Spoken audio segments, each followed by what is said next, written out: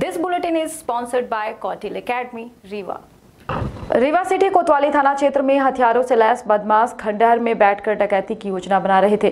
Police ने दबिश देकर उन्हें गिरफ़्तार कर लिया है जिनसे औज़ार भी बरामद किए गए हैं। सिटी कोतवाली पुलिस की टीम ने डकैती की योजना बनाते खतरनाक हथियारों से लैस पाँच बदमाशों को गिरफ़्तार किया है। दरअसल सिटी कोतवाली थाना क्षेत्र के निपनिया में स्थित कालिका आईटीआई कॉलेज के पास खंडहर में तब्दील एक मकान के अंदर बैठकर खतरनाक हथियारों से लैस पाँच बदमाश किसी गंभीर वारदात को अंजाम देने की योजना बना रहे थे। वहीं मुखबिर की सूचना पर सिटी कोतवाली पुलिस की टीम ने दबिश दी, जहाँ खंडहर की घेराबंदी की और अंदर दाखिल होते ही आरोपियों पर बंदूक तान दी। जिसके बाद सभी आरोपियों ने पुलिस के सामने हथियार डालते हुए सरेंडर कर दिया। थाना प्रभारी आदित्य प्रताप सिंह ने बताया कि आरोपी आपस में बातचीत करते हुए निपनिया में स्थित शराब की दुकान को लूटने की योजना बना रहे थे। पुलिस की टीम भीतर दाखिल हुई और बदमाशों पर बंदूक तान दी।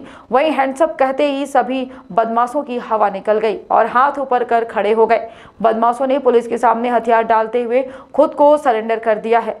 सिटी कोतवाली पुलिस ने सभी बदमाशों को गिरफ़्तार कर लिया है और पकड़कर थाने ले आई है।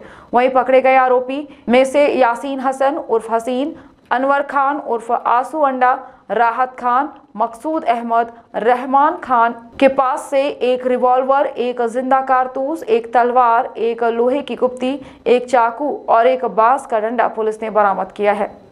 हाँ परसों सिटी कोतवाली थाना प्रभारी को यह जानकारी मिली थी कि निपनिया जो दारू की दुकान के पास में कुछ बदमाश टाइप के लड़के हैं, वो दारू की दुकान में, शराब दुकान में डकैती बनाने की, डकैती डालने की योजना बना रहे हैं। उसी का सूचना पर थाना प्रभारी के द्वारा अपनी टीम के साथ में मौके पर घेराबंदी करके उन बदमाशों को पकड़ा गया और उनके कब्जे से कुछ हथियार भी जब्त हुए और उनके पूछताछ में निकल के आए कि वह शराब की दुकान में डकैती डालने के वाले थे और उसके बाद उनको पकड़ के पूछताछ की गई। उनके आपराधिक रिकॉर्ड भी निकल के आए।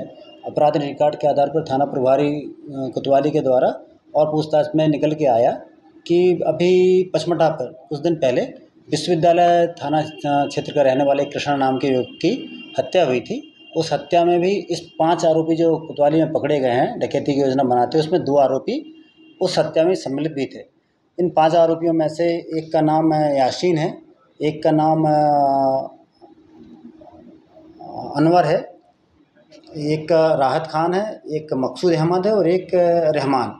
ये जो पाँच डकैती की योजना बनाने वाले आरोपी थे, इसमें से याशीन और मकसूद, ये हत्या में भी सम्मिलित थे और हत्या में दो आरोपी और भी सम्मिलित थे जिनकी पता तलाश अभी लगातार पुलिस कर रही है।